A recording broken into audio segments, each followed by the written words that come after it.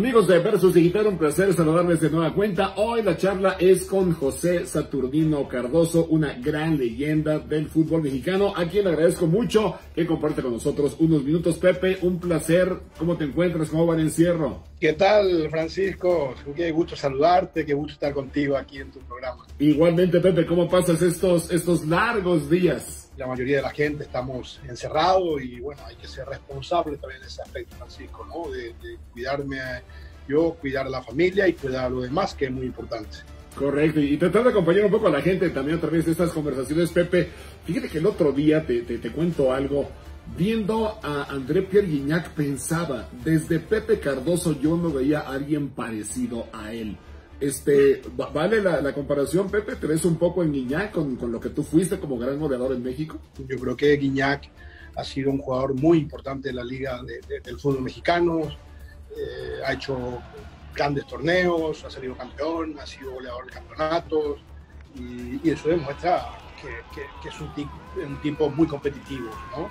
Tiene un físico, la verdad, muy importante y eso te lleva a, a, marcar diferencias muchas veces. ¿no? Yo siempre digo que lo físico es fundamental para que un 9 pueda tener explosividad en la hora de, de, de, de, tener la pelota, en la hora de querer ganar, ganar una posición, en la hora de querer ganar un mano a mano. Es la explosividad que un delantero y ya lo tiene, tiene, lo tiene siempre en mente el arco y, y eso es muy importante para nosotros. Delantero, yo creo que es Guiñac, que es un jugador que más o menos tiene alguna característica mía. ¿no?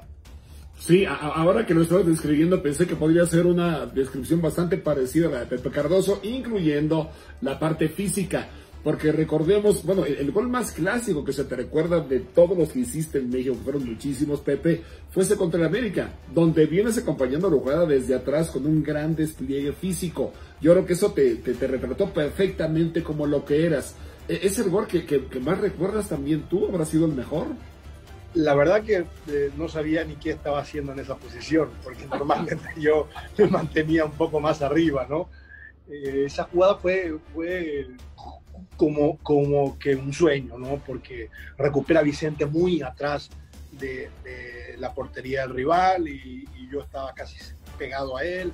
Cuando arranca la pelota yo trato de sacarme lo que fue Álvaro Ortiz y, pico larga la, pelota y el, cuando viene Rojas y que se tira, entonces pues, se ve una, una espectacular por, por la circunstancia del, juego, ¿no? de la jugada, porque ahí aparece Rojas eh, tirándose, yo levanto la, pelota, eh, le doy un tres dedos a, a, Ciña, o sea, la coordinación fue fantástica, ¿no? Me parece a mí que esto, esta jugada aparece cuando hay jugadores inteligentes, jugadores técnicamente muy, muy interesantes, y después una, una combinación bastante, bastante importante, ¿no? Y después el conocimiento hacia el compañero, que es muy importante para mí, para hacer el, para hacer el gol, para que llegue el gol es y eh, esa característica siempre es muy importante que haya una buena coordinación un buen entendimiento hacia el compañero, ¿no? Cuando Chiqui arranca, eh, él sabía perfectamente que yo estaba llegando ya por el segundo palo, entonces justo eh, cuando, cuando yo veo que Chiqui arranca,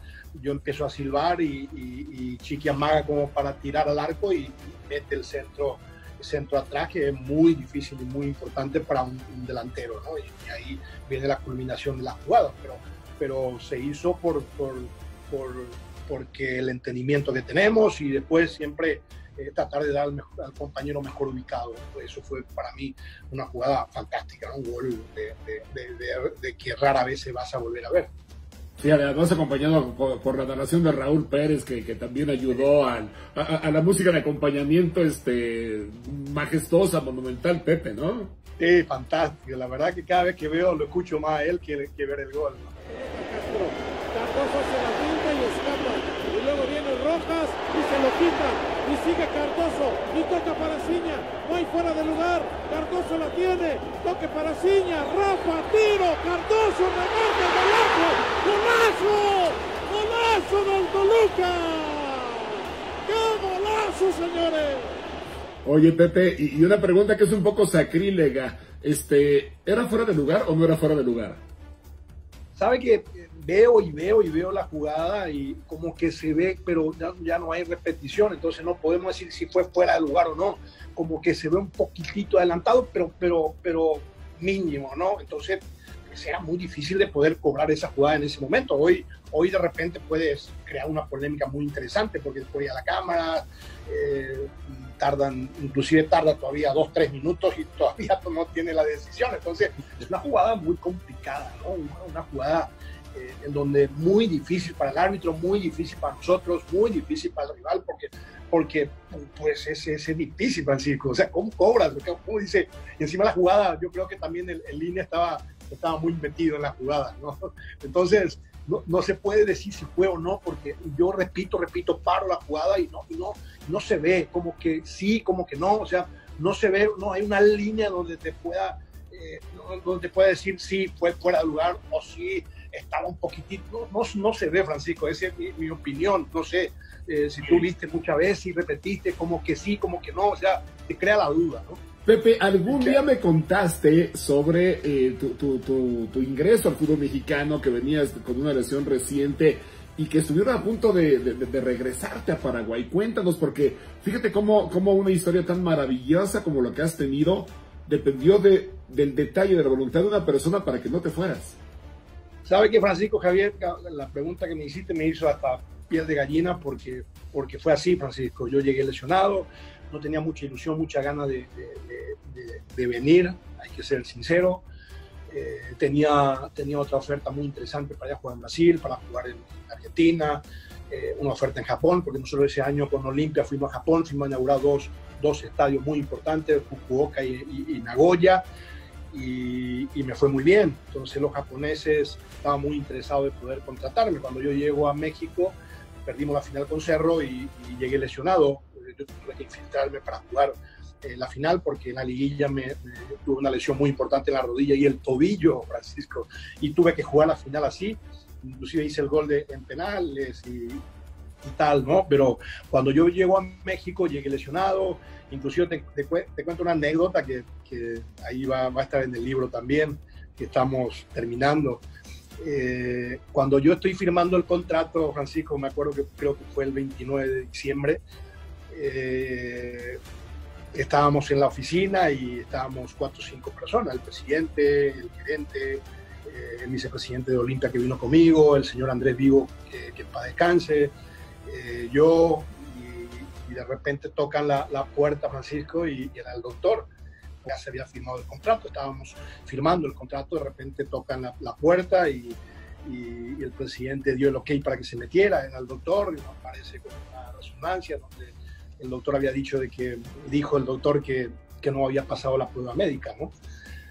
Estaba totalmente, era razonable porque yo venía con una lesión muy importante en la rodilla, una intención o prácticamente una rotura del ligamento cruzado eh, en donde el presidente dijo que ya me había comprado y que tenía que recuperarme para tratar de, jugar. Y dijo el presidente, se atrevió a decir el presidente, hay que recuperarlo porque va a ser el mejor jugador de México, va a ser el goleador de México. Entonces, como que, como que eso también eh, despertó una confianza muy importante de parte de la directiva hacia, hacia mi persona y, cuando llegué jugué un partido, así, debuté en Querétaro y después casi ya no volví a jugar. Entonces cuando me estaba recuperando nuevamente voy a la selección en, el, en junio del, del 95, que nos toca México justamente en el grupo en la Copa América y, me tocó inclusive anotar contra México, que ganamos uno.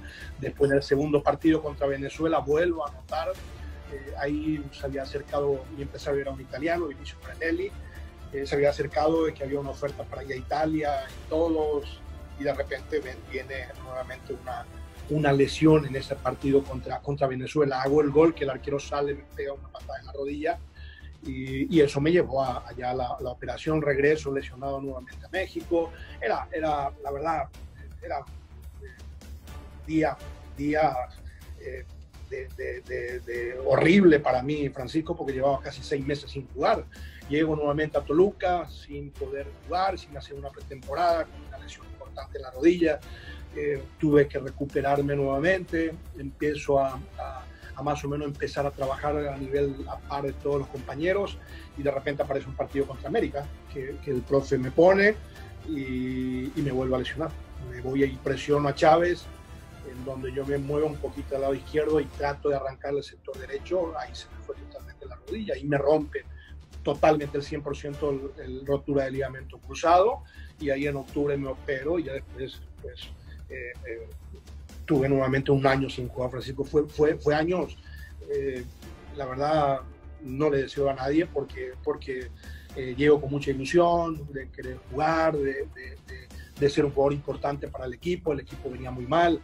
Y, no poder ayudar, no poder colaborar para que el equipo pueda salir de la situación que estaba. No era, no era días eh, importante para mí. La verdad, eh, hasta hoy en día recuerdo y digo eh, qué día feo mi carrera, ¿no? De no poder jugar un año y medio, Francisco, y, y el club mientras me pagabas, ¿no? Claro. Inclusive cuando vence mi contrato, Francisco, mucha gente no sabe, nunca me vuelve a firmar un año sin, sin preguntarme. Me acuerdo que me fui a la oficina y me dice, ¿cuánto quiere ganar? Y le digo, yo lo que me quieran pagar, yo, yo que tenía que exigir en ese momento. Le digo, lo que ustedes me puedan pagar, me pagan. No me quieren pagar también, o sea, me quedo y me recupero de la rodilla porque ya tenía un compromiso muy importante con, con el club, con la institución, con la gente, con, con el dueño, con la directiva, por haberme dado ese respaldo muy importante, porque no es fácil respaldar a un jugador más siendo extranjeros, más que compraste como un refuerzo importante, era muy difícil que te puedan soportar. Y el Toluca siempre me soportó, siempre me aguantó.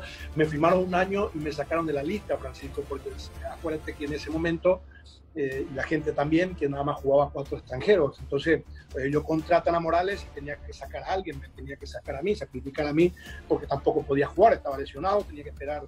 Eh, el doctor en Estados Unidos me había dicho que 10 o, una, 10 meses o un año prácticamente tenía que parar eh, y después pues la verdad eh, me, tenían que sacar porque no, no, podía estar registrado en ese momento y el club me seguía pagando.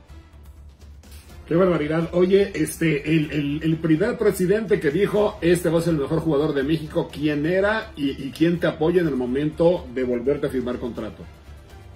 Ese fue eh, Jesús Fernández, fue el que estaba en ese momento era un agente, tengo entendido que era agente de la Corona, pero era responsable en ese momento de, la parte deportiva del Deportivo Toluca y, la verdad que el señor me respaldó casi, casi siempre. Me acuerdo que eh, otra anécdota muy importante que tengo es que ya venía jugando con normalidad Francisco y, jugamos el último partido, no me acuerdo si fue contra Pumas, ganamos 4-1, 4-0, me volvió a, eh, eh, anoté ese, ese, ese, partido, jugué de titular, anoté Francisco y cuando yo salgo, eh, contento, feliz, Francisco, de haber regresado, de haber hecho goles nuevamente.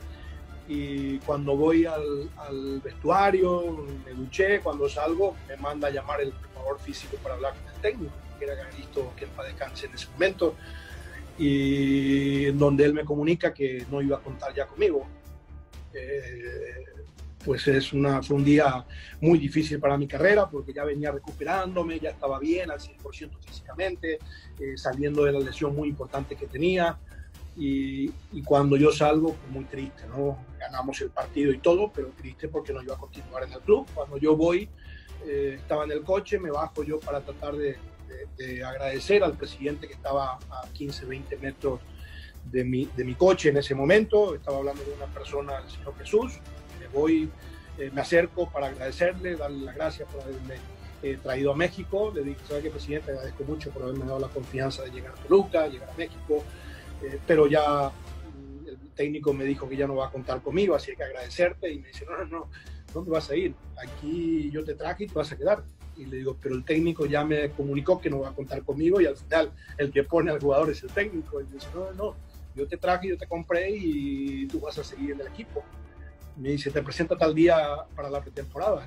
Le digo, mejor habla con el entrenador, señor, porque, porque no voy a llegar y después el técnico me dice, no estás, no estás, eh, no estás en la lista, ¿no? Claro. Imagínate, eh, Francisco, ¿no? que yo llegue y cree conflicto para, para poder estar en un plantel. Le dije, ¿sabe qué?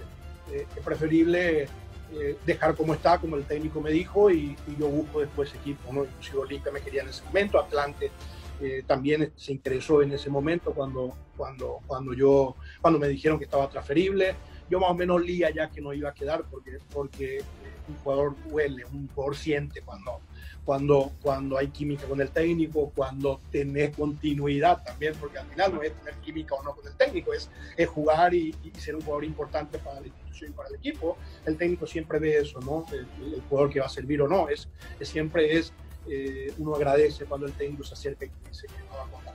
contigo. Entonces, eh, lastimosamente, eh, en ese momento el técnico eh, me dijo, pero al final el presidente me dijo que regresa el día, fue a hablar con el técnico un rato él, me dice, espérame 10 minutos, regresa y me dice, ¿sabe qué? Necesito que regrese el día, vas a ir a la pretemporada, regreso, pero tampoco había jugado, o sea, no podía jugar porque al final el que toma la decisión es el técnico, ¿no? Y el técnico de repente le hace caso al, a la directiva también, ¿por qué? Porque es el que paga y el que, el que, el que, el que te respalda, ¿no? Entonces, me acuerdo perfecto que, que regresé, a lo mejor el técnico no estaba totalmente de acuerdo, 100% de acuerdo, por lo tanto no jugué. No podía jugar, hice la pretemporada, pero no tenía, no tenía continuidad en ese momento porque el técnico está en todo su derecho de, no ponerme porque a lo mejor no era el jugador ideal que él estaba buscando en ese momento. Y bueno, luego, luego toda la historia cambió, Pepe. Oye, se nos terminó el tiempo, pero hay que hacer una segunda parte y sobre todo hay que esperar que salga tu libro. ¿Para cuándo el libro con la biografía de Pepe Cardoso? Sabe que ya estábamos casi terminando, pero esta pandemia que, que nos retrasa todo, ¿no? Eh, pero bueno, hay que primero hay que cuidarse, cuidar la salud, que es lo más importante para mí que hay en la vida. Eh, tener salud no tiene precio. Y, y, bueno, hay que, hay que esperar, Francisco. ¿no? El libro está prácticamente terminado. Algunas anécdotas de, de algunos compañeros que, que también estamos eh, involucrando a todos, a, a, lo, a la mayoría de los compañeros que compartió conmigo grandes eh, logros ahí en Toluca y también decepciones, porque también arrancamos con un equipo que, que no venía ganando, que, que, torneo tras torneo habíamos fracasado y, y, y eso son historias muy, muy interesantes, por eso me atreví a hacer este libro, para tratar de, de tirar un mensaje muy importante a los jugadores jóvenes más que nada, ¿no? De acuerdo. Oye, Pepe, un par de preguntas de sí o no, este, sobre si, si, si esto lo va a contener tu libro o no. En tu libro vas a hablar este, de que Cruz Azul te quería, pero no te podías ir después de esa, de esa final de la Copa Libertadores en que los reforzaste.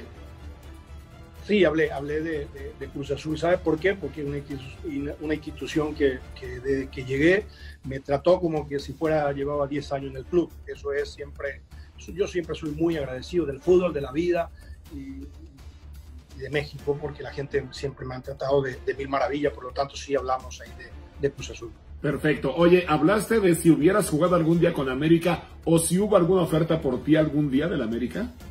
También, también, también, también, Francisco. Sí, hubo un acercamiento importante en el 99, la, eh, al final no, no se dio. Eh, eh, así es, así, así, es, así es la vida, ¿no? De repente uno no puede estar contra el destino.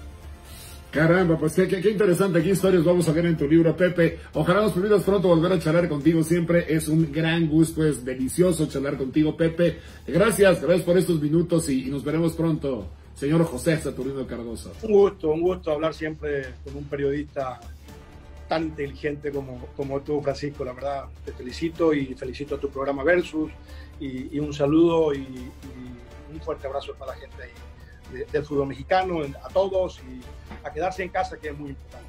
A eso, a eso, a eso tendremos que seguirnos dedicando. Pepe, recibe un abrazo, mil, mil gracias. Versus Digital regresa pronto con ustedes.